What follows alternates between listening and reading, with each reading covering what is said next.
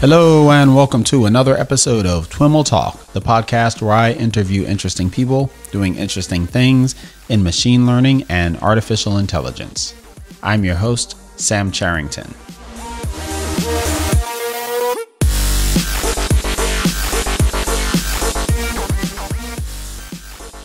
Contest alert. This week we have a jam packed intro including a new contest we're launching, so please bear with me. You don't want to miss this one. First, a bit about this week's shows. As you may know, I spent a few days at CES earlier this month. While there, I spoke with a bunch of folks applying AI in the consumer electronics industry, and I'm including you in those conversations via this series of shows. Stay tuned as we explore some of the very cool ways that machine learning and AI are being used to enhance our everyday lives. This includes work being done at Anki, who built Cosmo, the cutest little computer vision powered robot. Lighthouse, whose smart home security camera combines 3D sensing with deep learning and NLP. Intel, who's using the single shot multi box image detection algorithm to personalize video feeds for the Ferrari Challenge North America.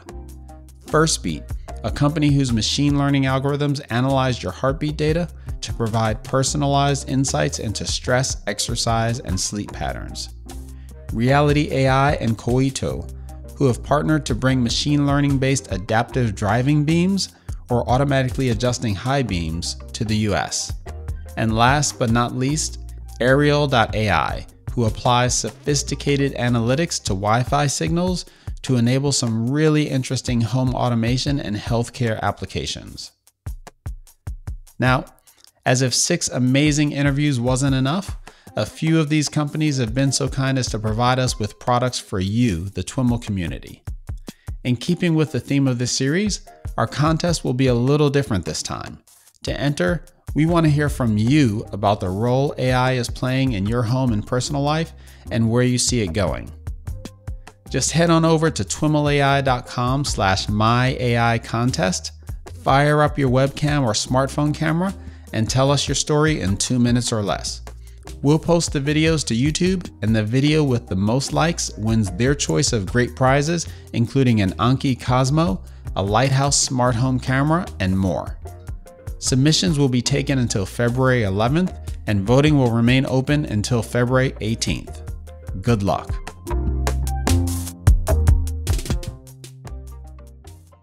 Before we dive into today's show, I'd like to thank our friends at Intel AI for their continued support of this podcast.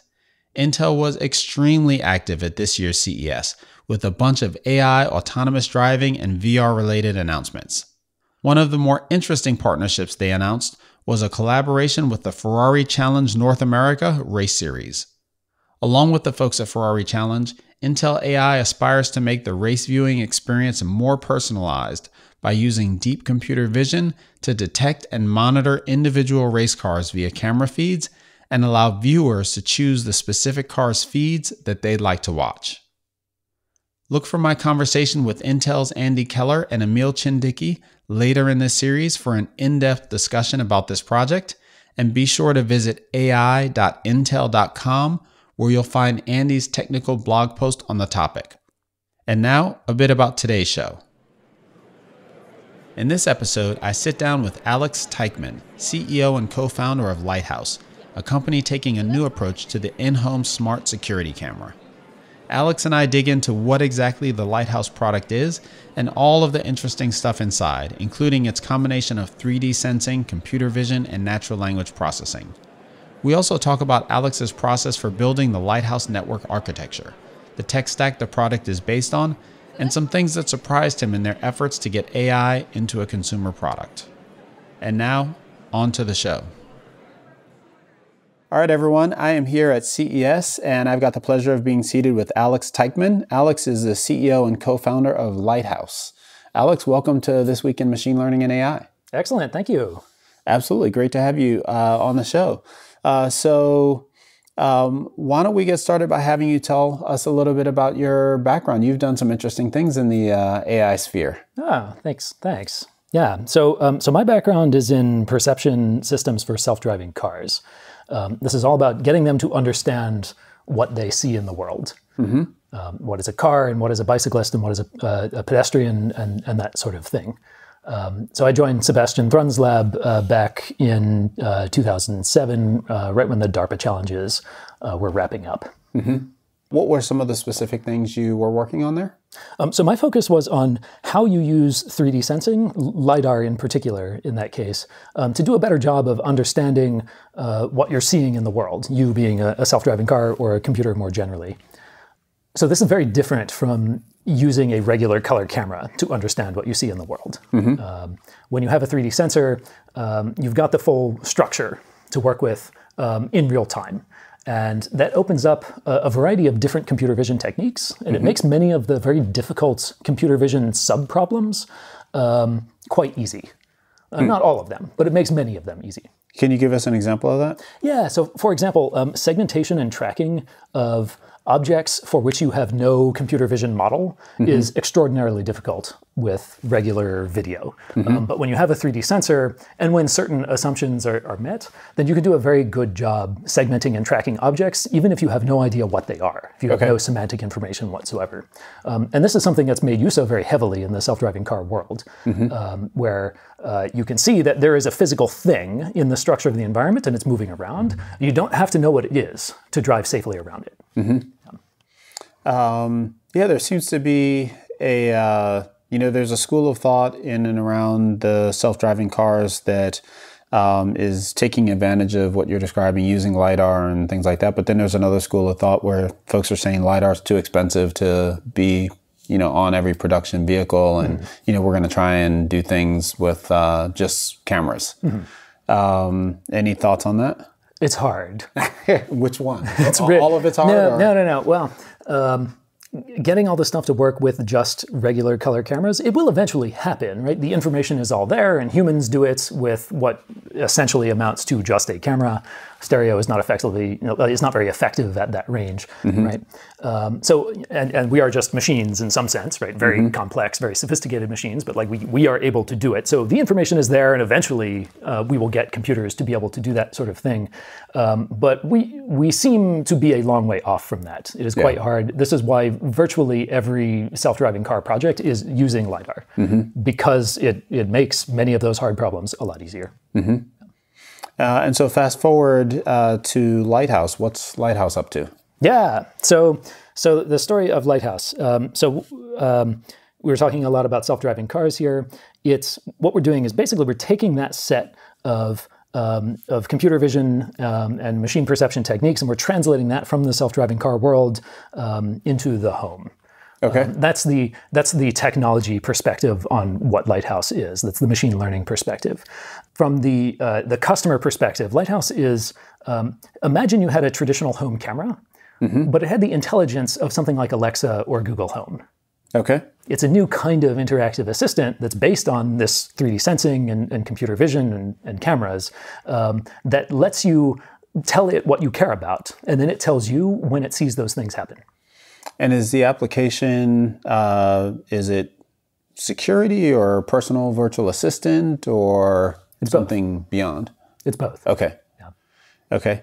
Um, so give me an example of how I might uh, how I might use it. Yeah. So one thing you can do with Lighthouse is you can say, um, "Tell me if you don't see the kids by 4 p.m. on weekdays." Okay. And you literally just say those words. That's it. It understands what you're asking for. It has a very good computer vision model for what children are. It knows what they look like, um, and it knows that you're asking for you know by 4 p.m. on weekdays, Monday through Friday. And if it doesn't see children by that time, Monday through Friday, it'll send you a notification. Okay. Um, and if it does, then it won't bother you.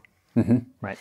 Interesting. I uh, a few years ago, I was I had some crazy project that I was going to do around the the house, and and one of the first things I started trying to figure out was presence, and this was pre like deep learning, CNNs, all that kind of stuff, and I started looking at you know NFC and all these other kinds of things, um, and it's just so obvious now that vision is the you know cameras and vision is the way to do this. Um, what are some of the challenges associated with uh, deploying a kind of a vision appliance, I guess, in the, the home environment? Um, well, everything in computer vision is is hard to some degree, right? Because it's new. We're kind of just at the, in like the dawn of artificial intelligence here, and Right. all of this, all of these, you know, different techniques are are very cutting edge. Um, so we're really pushing the boundaries in what's possible with deep learning, um, and combining that intelligently with the um, you know the sorts of techniques you can use with 3D sensing, um, in particular around segmentation and tracking there is a lot of complexity and a lot of difficulty around building the hardware to do this too, um, because this is the first 3D sensor um, that uh, you know has 95 degree uh, diagonal field of view that can see out to you know uh, depends on the details, but you know seven to 10 meters is typical. Um, it's quite challenging to put all that stuff together. Um, hardware is hard is is a you know is the phrase for a reason. Right, right, right. Yeah. So is the device itself? Is it kind of a kind of a Kinect plus a camera? You can actually kind of think of it that way. Um, so it uses a different um, uh, underlying depth sensing technique. It's a um, uh, actually depends on which Kinect you're referring to. So the original Kinect was uh, was structured light, and then it's Okay. kind of like stereo. There's like a texture pattern going out um, a projector, and you know where that projector is, and there's an infrared camera, and you can triangulate from that. Okay. That was the original Kinect. Uh, that was actually what we prototyped Lighthouse on in the very beginning. Okay. Um, and what we're using now is a time of flight camera, where that sends out modulated light, and then you look at um, the phase shift between that modulated light as it returns, Okay. um, and a reference signal. And that phase shift um, uh, tells you how far away things are, essentially. So, like at every pixel in the image, not only do you see, you know, oh, it's you know, it's like this shade of brown. You also see um, it's 3.72 meters away. You get that for the whole scene. Oh, interesting. I uh trying to remember the name of this thing. There was a Kickstarter that I backed. I haven't done anything with this thing yet, but it was like a mini lidar. Scanse, I think, was the name of it. Have you ever come across that? I haven't come across that one. But was it for scanning your face or yourself No, it was or like something? it was kind of a you know for hobbyists. Uh, you could you know put it on a mobile robot and just experiment with it, that kind of thing. I don't think there was any like specific end user use case associated with it, Okay. but it was focused on kind of. I think it was just an example of you know the the you know how to scale lidar down to something that fits in the palm of your hand and is relatively cheap. I see. Yeah. Yeah, I'm not familiar with that one, but um, but you know, the, both generations of the Kinect are a good example. Um, the iPhone X has a 3D sensor built into it, and that's also a good example. They use that to to make Face ID actually reliable. Um, and then uh, you know, self-driving cars, obviously, with the, all the different varieties of lidar that's out there. You know, maybe a little bit more detail around the the some more examples of kind of use cases for the device itself might be helpful. Yeah, yeah. So I mentioned the one about like if the children don't come home by a particular mm-hmm. time. And is it uh, just children, or is it like if Bobby doesn't come home or Susie doesn't come home? Like, do you are you able to to identify specific faces and associate them with mm-hmm. with kids, or is it just children? Yeah, yeah. So so you can do either, in fact, um, with Lighthouse. Um, so Lighthouse has the ability to understand that oh, that is a child generally. It also has the ability to understand um, faces of specific people. Um, and in particular, what what that is most useful for. Um, is so you can do something like say to Lighthouse, um, you know, hey, tell me if you see someone you don't recognize while Cindy and I are away, for Okay. example. Um, and that lets you get at, you know, um, I don't know, if your children bring home a new friend um, while you and your wife are out at work or something, and you Right. might just want to know, like, oh, who is this new person? And it'll it'll tell you about it. It'll send Okay. you a push notification when it sees that. Um, or if you know you have a dog walker or a babysitter, and one day it's somebody different or somebody new is there, right? It'll proactively notify you about this. You don't have to go back and check every day, Okay. right? Because you have set up this alert um, with natural language. Yeah, it was just occurring to me that as you were describing these use cases, that you know, as complex as the you know the computer vision and the the 3D sensing is, there's also a, an NLP challenge. Like, how do you how do you capture you know the full breadth of what someone's going to want to ask this thing? Um, are there you know we've talked uh, a bit on the podcast about some of the underlying NLP technologies and uh, spoke with someone on the Alexa team. Like, are there unique challenges associated with the way you're using uh, NLP in the context of this device? Um, I, so I wouldn't say there's, there's necessarily, um, I don't know, unique research challenges on the natural language processing side. Um, there are uh, are difficult and important uh, engineering challenges that we need to nail on that side of things. Um, it's the computer vision where the really um, the really heavy duty uh, you know research grade techniques um, are being deployed, at least for the current generation of Lighthouse. Um, I mean, you can imagine uh, you know Google Assistant needs to answer virtually any question you could throw at Right, it. right. Um, with Lighthouse, there's there's actually a more restricted set of things. You know, Mm-hmm. if you ask Lighthouse for you know directions from like you know here to wherever, like we, Right. we like we don't do that. That's not what we do. Um, but for the set of things that we understand on the perception side, like we're you know it's actually we're very good at being able to answer those questions. Um, it's a more constrained space that makes the problem easier. There's more structure in it. Okay. And so do you, you know, when you're providing kind of the user manual for this thing, like are you telling someone these are the 10 things you could ask it, or are you setting the expectation that they should just be able to ask it things related to the kinds of stuff that it can do? Yeah, so so we we float rotating suggestions in front of people um, Okay. in the app. Okay. Right. So like so when you're um, in the kind of the natural language interface screen, you'll see here's you know here's the set of things you might consider asking. Some examples of these things Right. in this category, and it kind of guides you through what categories of things we understand, um, and that includes um, you know for object recognition, it's you know people and children and, and pets and that kind of thing. Um, for action recognition, we recognize waving um, at the device. Um, so you can say something like, "Hey, tell me if you see someone waving hello while I'm out." Right? Okay. That kind of thing. Um, We understand, um, uh, you know, time ranges. Uh, we uh, allow you to set up um, alerts for things that happen in the future, and so on. We'll kind of guide you through those different categories of what we do. Okay. Um, and so on the computer vision side, what are kind of the key research level challenges that you're tackling? Mm-hmm. Um, so it, what it is really coming down to is applying deep learning at a large scale with 3D sensors combined with color cameras. Um, and there's there are um, particular things that this setup let you do that you just can't do in any other domain. Um, so, so for example, the 3D sensor lets you segment and track objects through the space um, without you having to have any sort of semantic understanding. You don't have to know what that thing is. You just know it's a thing and it's moving through the space. Now, your unit of classification from a deep learning point of view is that segmented object track through space and time. And this, this enables several things. One, it's just more accurate because you have more views of an object as it's moving about, and you can integrate all of that information. Um, and two, it's a very, very natural setup for doing action recognition. Um, because you've got this, you know, this thing moving through space and time, and you can ask questions like, "Is this a dog?" But also, you know, "Is this a dog jumping up on my couch?" Or "Is this a person waving hello?" Or you know, and so on. Um, uh, so it, it's a great setup for working on these kinds of of, uh, of very challenging computer vision problems. Okay. You've talked about kind of segmenting the you know these objects, and I'm thinking about this primarily being driven by the 3D sensor. In what ways does having the camera augment what you're able to do? You know, beyond just the 3D point cloud. Oh, um, well, so the so at deep learning time, it's a specialized architecture that's using both of those channels. Um, so you know the almost the attentional mechanism, if you want to you know if you want to call it that. Yeah. That's primarily driven by the 3D sensor. Um, but then once you're kind of analyzing what is this thing, now we use everything we have.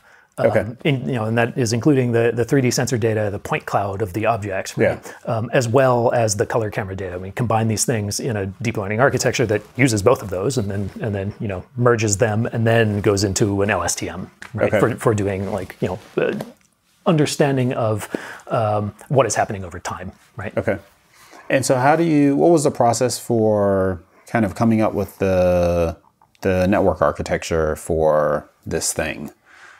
Ah, um, Did are you, you start familiar? with something off the shelf like Inception, or you know, name your network architecture, or did you build it up from the ground up? Yeah, so um, I mean, in this kind of context, it always makes sense to start from a baseline that's reasonably easy to just you know pull the pull a thing out of the box and deploy it, see what happens. Right. Right. And so we did that with you know GoogLeNet 100 years ago just to see what would occur. Yeah. Um, and you know, it was you know, it did something. It was good. Mm-hmm. Um, but it was pretty clear that we need to customize this thing to get the level of, of accuracy that we really want. Yeah. Um, and then the process from there is, um, well, are you familiar with the, the phrase graduate student descent? Sure. Okay. Yes. So I mean, that's that. I mean, um, but I mean, it, it really it uh, it's you know it's intuition um, combined with uh, significant perseverance combined with lots of compute. Right. Right. Yeah, I And think like the, a- the current like a- way of saying that post NIPS uh, 2017 is alchemy. yes, there's a lot of alchemy.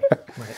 I mean, it's kind of sad actually, uh, in that like a lot of my a lot of my PhD work was kind of like during the age when you know proper machine learning techniques should be you know convex, right? And just like yeah, it's a descent method. Like you're always going downhill and just like roll to the bottom, and you'll find the solution. It'll be Right, great, right. right? Um, and now it's just it's non-convex and just like yeah, maybe it's working and maybe it's not working, and you know oh I don't know try a try a different momentum term and like maybe it'll work Yeah. this time, right? And that it has its it has challenges and uh, uh, advantages too, right? Like now things actually work. That's pretty cool.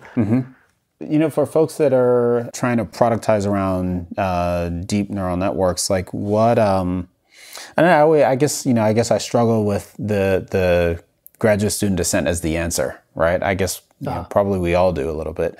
Um, have you developed, you know, any intuition or rigor around, uh, or methodology rather, around kind of the way you, um, you know, the way you build out network architectures for for this problem space? Or even maybe another question as background is like, was the network architecture like upfront work that you did and it's kind of static, or is it what? How how rapidly does that evolve? So, so that is an ongoing effort um, in many different ways. Um, so, in one way, um, we are um, you know collecting new annotated data all the time. Um, you know, both from our own early access testers who provide us access to their data for us to use for training purposes, um, and also um, if there is a mistake in the field, you can you can annotate it as such, and we'll make use of it and improve the models. And we have, we have a stream of annotated data coming in, um, and so we're always taking the same network structure and taking that new training data and turning the crank and redeploying. Um, And that cycle, I mean, it depends on the details, but that's on the order of days, right? Um, the new architecture deployment cycle. Um, that's more like weeks or months as we you mm-hmm. know we come up with some new idea of like oh what if you know maybe we can compress the network this way or maybe it would make a lot of sense to you know build out this piece of the network and then we'll go work very hard and validate that that new network and find out oh indeed this you know reduces compute time on our end and produces a better experience for the customer. Great let's go deploy this. Mm-hmm. Um, you know it's all about large scale quantitative testing mm-hmm. And you mentioned compressing the architecture. Are you deploying the a network on the device, or are you doing inference in the cloud or something like that? It's largely in the cloud Okay. um, at the moment. There's a variety of reasons that make sense, um, although I should mention it is not entirely in the cloud. Um, it really is a distributed computer vision system to squeeze all the last you know bits of performance out of it that we can. Um, you really do want it to not all run in one place. It makes sense to have some of it run on the device, some run in the back end. Uh, so talk a little bit about that in more detail. Like, how do you, you know, what is running on the device? How do you partition what's running on the device and what's running in the cloud? Yeah. So at a high level, um, the device is doing um, the attentional mechanism. It's doing the segmentation and, and tracking of what is interesting and new. Okay. Um, and then um, there's nuance here, but at a high level, it's doing that. Uh, So at, at kind of a simplistic perspective, you're not sending a bunch of frames up to the cloud if there's nothing happening.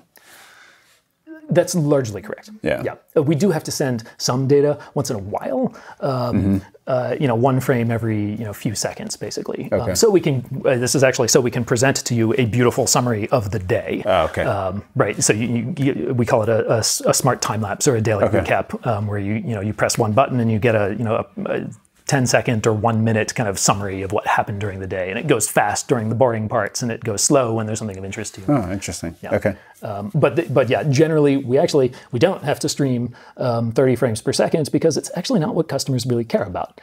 Um, customers don't care about you know what were the RGB pixel values uh, at like 3:47 a.m. you know yesterday. Mm-hmm. What they care about is you know did my kids come home on time and what has the dog done since I left the house because I just think it makes me feel warm and fuzzy inside. Or mm-hmm. you know did, was anybody new here? Who mm-hmm. was new here last week? Just you know show me these things. Yeah. That's what they care about. You know, we're with traditional home cameras, we're kind of awash in in data, but we don't have much, you know, useful information. And that's what Lighthouse is all about: is taking that that enormous stream of data and and compressing it down into just the bits that you actually care about. Uh, interesting. Um, one thing that I'm curious about, you know, being kind of here at CES and seeing, you know, tons of different consumer-oriented products that are trying to incorporate AI in one way or another. Uh, are there any things that you've kind of learned that were surprising about you know pulling AI into consumer oriented products? Yes. Um, I, I, actually, um, when when we started Lighthouse, myself and my co-founder, um, I thought it would be the um, the AI problems that were the hardest across the board. Mm-hmm. Um, and they are hard for sure. There's no question of that. Um, it turns out there's other hard problems that you have to solve along the way. Hmm. Um, for example, getting the UX right.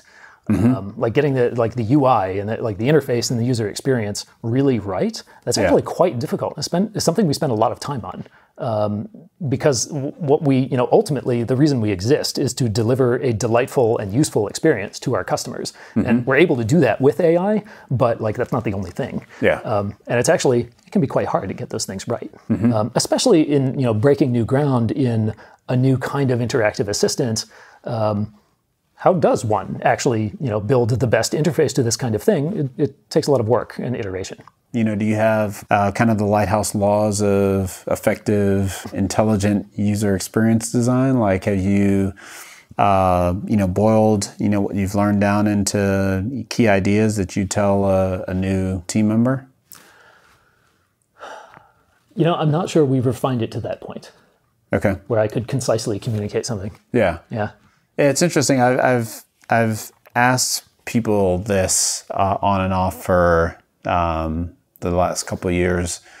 I think that uh, it, it, strikes me that you know we've developed a fair amount of um, you know a fair amount of methodology around traditional user experience via mobile, via the web, mm-hmm. and it strikes me that there's you know some set of rules that will evolve around designing intelligent systems, uh, or not does that's kind of too broad, but um, presenting intelligent experiences to mm-hmm. consumers. Um, but I haven't really found, you know, no one said, "Oh yeah, I read this book about it." We're still too early for that. Too early for books. Um, there is but, one. There is one guiding principle actually that, that is is worthy of mention here. Um, uh-huh. It's something that's always kind of in the back of my mind with this kind of interface. The reason it exists um, is to make useful information accessible to you as quickly as possible. Mm-hmm. That's the reason natural language interfaces are good. Um, mm-hmm. So, you know, stepping outside of Lighthouse, looking at something like Alexa or Google Home, mm-hmm. um, one of the reasons they're so good is because you know you don't have to go find your phone or pull your phone out of your pocket and like unlock right. it and go to this you know go to the right app and then and then play your music and say no like play it on this interface and then like mm-hmm. oh and then finally it comes out where you know like, no you just you just yell across the room hey play this thing mm-hmm. and it just works mm-hmm. right and that like the reason that's amazing is because it saves you 10 seconds right and it, and it seems so trivial right but it's not it really like it really really really matters mm-hmm. um, and and when you look at this from the um, I don't know if you want to call it the the nerd point of view. Certainly, this is me, right? Mm-hmm. But um, uh, it's all about reducing latency and increasing bandwidth in the human-machine interface. Mm-hmm. That's the point of natural language. Mm-hmm. Um, is that you have a thought in your mind. There's a thing you want to do, mm-hmm. and right now generally you have to translate that into okay i'm going to pull open my phone i'm going to tap on these buttons to get to the right app and then i'm going to tap on some more buttons to do the thing i'm trying to do and right. i have to go to this menu and adjust the slider bar and it's, it's like right it's just like right. it's terrible what you should do is, there's that thought in your mind just say the thought right Right. And it just happens, yeah. right? That's what that is. That is just so much better. That is an, it's a, I don't know, it's an order of magnitude improvement in in latency in that interface between this intelligence in my head and this intelligence in my phone. Mm-hmm. On the NLP side of things, did you start out with any of the um, kind of popular cloud-based platforms for doing that kind of stuff, like the I forget what it's called now, X.AI. Mm. You know what what that is, but you know all the cloud vendors have their own, or did you kind of roll your own? Right. You know they're they are useful prototyping platforms. Mm-hmm. Um, and there may even be some applications where they get you all the way. Yeah. Um, but that is n- that is not the case for Lighthouse. Um, and mm-hmm. uh, I mean, I can tell you that for sure because uh, like I used one of them over a weekend to produce a little demo of like, hey, this is what this is what I have in mind. I think this might right. be a way to really nail the user the user interface for this thing. Yeah. Uh, by, by the way, actually, I mean, when we started Lighthouse, we knew how to, we knew the direction to go into to solve the perception problems, but we didn't know how to solve the UX problems, mm-hmm. right? And, and, it was only along the way that we discovered that, like, oh my God, it's the natural language interfaces are the way to do this. Mm-hmm. Like, it is actually not, it is not possible as far as we are aware, to produce an interface with buttons and sliders and you know whatever else it might be to to get you to be able to say, uh, "Hey, tell me if you see anyone new at the doorstep while Cindy and I are away next week." Oh yeah. Right? Like how, like how would you do that with like you just can't, right? But with natural language, it just works. It just works. It's Right. amazing. Right. Yep. Right. I've gotten that feedback quite a lot from folks that are trying to productize NLP. Like the the uh, platforms are an interesting way to start, but you run out of runway in terms of their flexibility and ability to get you all the way. Yeah. Um, yeah. so- So, we built Eleron. Okay. It's the it's the only thing to do in this area. Can you tell me a little bit about your uh, tech stack generally? Yeah, yeah, happy to. Um, so we use we use a lot of C um, because this is real time on device and in cloud? both. Okay. Um, it's real time, performance, memory intensive computer vision, right? Running at scale. Um, I- well, either at scale on the back end uh, or on a you know limited compute device out on the front end that is touching hardware, right? And so in both of these places, C++ is the right thing to use Yeah. at that level. Now, when we're prototyping a new uh, a new architecture for our you know the deep learning system, yeah, it's totally reasonable to you know twiddle around in you know in Python to to have you know faster iterations on that. Um, but Uh, ultimately, when it's like building and deploying real systems, it's it ends up being C++. Mm-hmm. Yeah. So, did you build out the NLP platform on C as well, like the whole system for intents and all that kind of stuff? I'm simplifying a bit, of course. So the, the core computer vision system is in C++. There's a Java layer around that because that's that's easier to interface with your phones, for example. Um, and it turns out that's also a good place to build your natural language processing. Okay. Um, for whatever reason, um, in academia, at, at least my my circles of academia back in my Stanford days, um, natural language processing was generally done in Java. Um, And computer vision on self-driving cars, for example, was like all C++. Um, and and it, you know, it probably is the case that you know on self-driving cars, C++ is a more natural fit because you have to interface with sensors and you have real-time requirements, and it's like very heavy data, whereas natural language Yeah. processing is often less so. Yeah. Um, so in any case, that's that is a natural fit, and our, our natural language system is is you know lives out there. And is the Java ecosystem for the natural language stuff stuff as mature as the Python ecosystem, or more maybe? That's a good question. I I don't think I actually know. okay. Yeah. Like, where, from a, a company perspective, where are you in kind of the life cycle of bringing this product to market? Ah, we are very close to general availability. Okay. Um, so you, in fact, you can go to our website right now, www.light.house, um, and, and enter your email, and uh, we we will add you to our, our special offer list. And if you're lucky, you might get one. Okay. Um, and uh, and if not, we will uh, we will be available for um, for anybody to buy in the not too distant future. Okay. We are we are quite close now. Nice. I've seen pictures of the device. It's like it looks like a. It's not a mobile device. It's stationary. You put it on a countertop or something like that. Right. You know, you either have to be very, very strategic about where you put this thing, or you have to envision a world where you've got ten of these all over the place, kind of like Alexa's becoming. Right? You have one in every room or something like that. Is that the way you're thinking about the world? And like you've got. You eventually have a full 3D and uh, you know three color map of everyone's home, or is it something different? Yeah, actually not. I mean, maybe I'm not doing my job as like you know CEO of this company and like, oh, you should have one in every room or something. But I actually don't see it that way. Um, um, I think several in a um, in a normal sized uh, you know middle class American house, two to three is probably the right number, and you get a ton of value out of one. Um, and so you can kind of you know you get one, and you play with it, and you're like, oh my god, this is amazing, and you can get two and two and 3 Um, I actually don't think it makes that much sense to have um, every single room covered. Um, it's usually um, particular areas of interest. Um, and so, you know, we often see the first one goes in an area that is kind of near the front door, so you see like what traffic is coming and going, but you also see a reasonable amount of the kind of the floor plan of the home, so you get a sense of what's going on there. Um, but other uh, common places for for Lighthouse to end up in are you know in the garage because often the you know the door might get left open and you want to know if somebody's in there, um, uh, or you might have tools out there and children and you want to know like is the you know are the kids going out there when I'm not home, things like that. Um, or, you know, upstairs in the kids' room or just outside of the kids' room to see if they're getting up out of bed in the middle of the night. I mean, you could you could literally just say, you know, hey, Lighthouse, you know, tell me if you see the kids out in the hallway between you know 10 p.m. and 6 a.m. and then it just works. Um, we, need to implement the call me if you see this feature. Okay. You know, coming down the road. Okay. Um, but it's those kind of areas of, of you know particular interests, and it depends on the particular homeowner. Um, another common place is kind of in the living room, looking um, looking into the area where the dog hangs out, um, so that you can you know just you know, get the warm and fuzzy feelings of like, hey, what's my dog been up to since I left home? Right. So if you had this and you pointed it at the front door, can it, um, you know, can it effectively, you know, track the state of the of the home and kind of be a general purpose presence detector, like, you know, keeps track of someone walked in, that person walked out, so they're no longer inside, and at any given time, like query it and determine who's in the house. So we can make that query, and that does work, um, but we don't do it with computer vision actually. Okay. Um, and the, you know the reason is we there's often many entrances and exits to a home, and we don't expect that you buy one lighthouse for every entrance and exit Okay. necessarily, right? Um, so the way we do presence absence detection is is just you know is with phone presence and absence. You know, GPS is part of that, but also looking Okay. at Bluetooth signals coming out of the devices.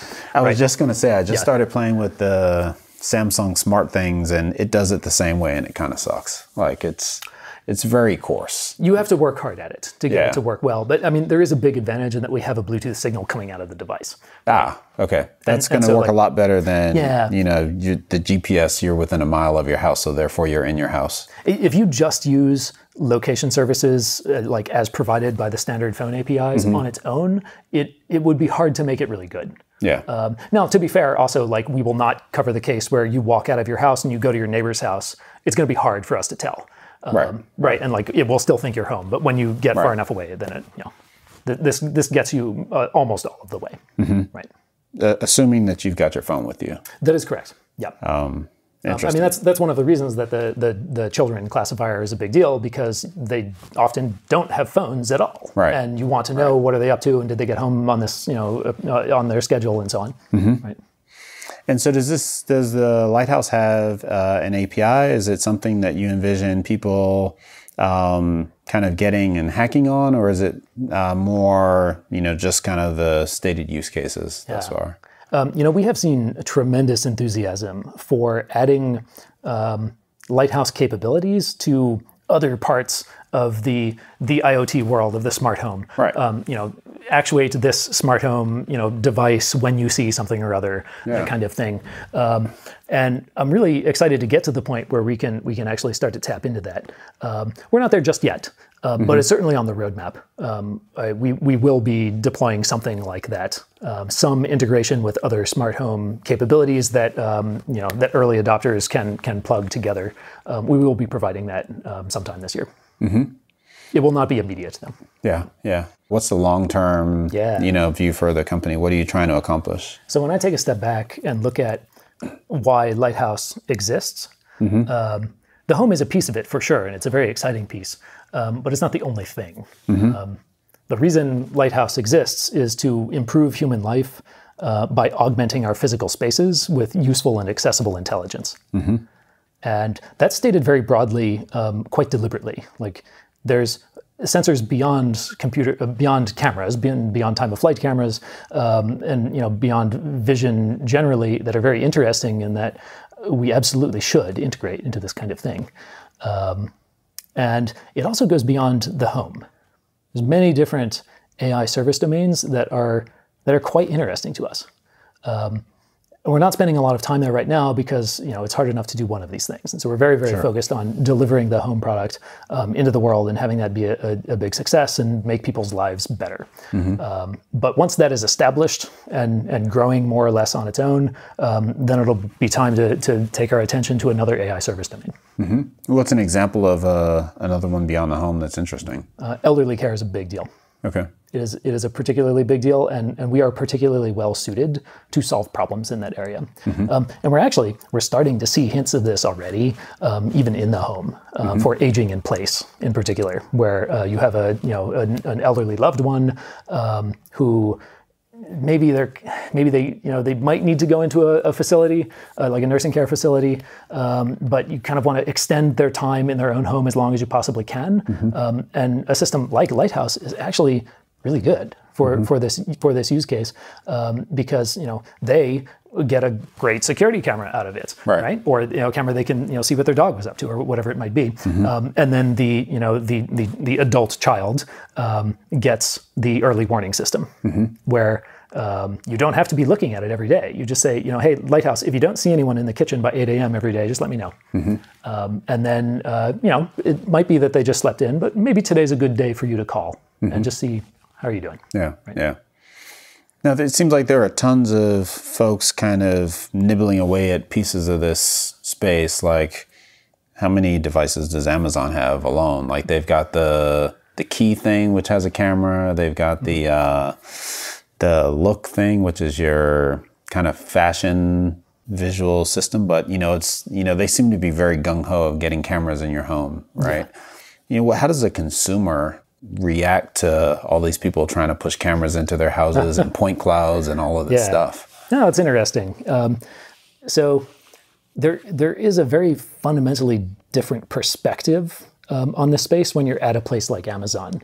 Um, their goal is to is to magnify their their marketplace, right? Mm-hmm. Like they're trying to sell things. Mm-hmm. That's that's why they're trying to put a camera into your house so that oh we can deliver more things to you, mm-hmm. right? Or we can you know understand that like oh this scarf would look really good on you. I'll try to sell this to you, right? or whatever it might be, right? I mean that's that's legitimately the stated purpose right. of that device. Right. Um, with Lighthouse, it's very different. Um, we, we, we exist to provide this you know, delightful AI service to you in return for money, and that's the end of the transaction. Hmm. We're, we're not looking to you know, sell you a better hat or something. Mm-hmm. Yeah. Um, but but you know, taking a step back from all that, um, it is super interesting what's happening in the home generally. You know, at mm-hmm. this CES in particular, there's this you know. A, I, I, almost want to describe it as an epic slugfest between you know Alexa and Google Assistant to, mm-hmm. to like you know which like oh my God this is the AI is coming to the home in this particular form right and it's really interesting and you know who knows where it's going to be a, a, year from now mm-hmm. um, but what is very clear is that adding perception capabilities and having then that same kind of conversational capability is is super exciting and that's kind of right where Lighthouse is. Mm-hmm. Yeah, there's often this question about like, is, you know, thing X, is it like a product or a feature? And you know what you're doing in a lot of ways is like bringing together the you know the vision piece which is um you know i guess i'm wondering like long term like does you know do, does something like lighthouse and alexa do they converge? Like do you do you want to if if alexa was more open like do you want to have to deal with the nlp you know or do you you know want the the vision to to kind of tack onto that? Or take advantage of the broader ecosystem. And I guess I'm mostly thinking about this from the perspective of a consumer. Like, how many of these devices do I want in my house listening to, uh, you know, listening to everything? And, you know, already I've got like, you know, the, the Google Home and you have to, it has its wake word and mm-hmm. Alexa, I've got two different wake words in the house. It's like, it's already getting a bit maddening. yeah. Um, well, one thing is, you know, with, with Lighthouse, um, you actually don't talk to the device itself. Um, oh, really? Yeah, because usually the responses we're providing are video, and there's there's no there's no screen. So you're like talking to your device. Yeah, and oh. and usually you're out and about. Right. Yeah, that makes a lot. Of sense. It's usually you're you're at work or you know you're you're on the train or something, and yeah. you're just like you know, hey, what did the dog do since I left? Or like you know, hey, it had you know, what did the kids do while I was out yesterday? Oh, and, and, then you you see the results there, um, right? Because it's all about delivering video answers in video form, mm-hmm. right? Um, so, so we won't be adding to that confusion um, about like so many different things that, that like can respond to you in the home. Mm-hmm. Um, I don't have an answer to that problem, but I don't know. Go chat with the Alexa folks, I guess. Mm-hmm. Interesting, interesting. All right, well, Alex, uh, thank you so much for taking the time to chat with me. I enjoyed learning about uh, you, your background, Lighthouse. Uh, sounds like an interesting space, and good luck here at CES. Cool. Well, thank you so much. This has been fun. All right, thank you. All right, everyone, that's our show for today. Thanks so much for listening and for your continued feedback and support. Remember, for your chance to win in our AI at Home giveaway, head on over to twimlai.com slash myai contest for complete details. For more information on Alex, Lighthouse, or any of the topics covered in this episode, head on over to twimlai.com slash talk slash 103. Thanks once again to Intel AI for their sponsorship of this series. To learn more about their partnership with Ferrari North America Challenge and the other things they've been up to, visit ai.intel.com. Of course, we'd be delighted to hear from you, either via a comment on the show notes page or via Twitter, directly to me at, at Sam Charrington or to the show at, at TwimlAI. Thanks once again for listening, and catch you next time.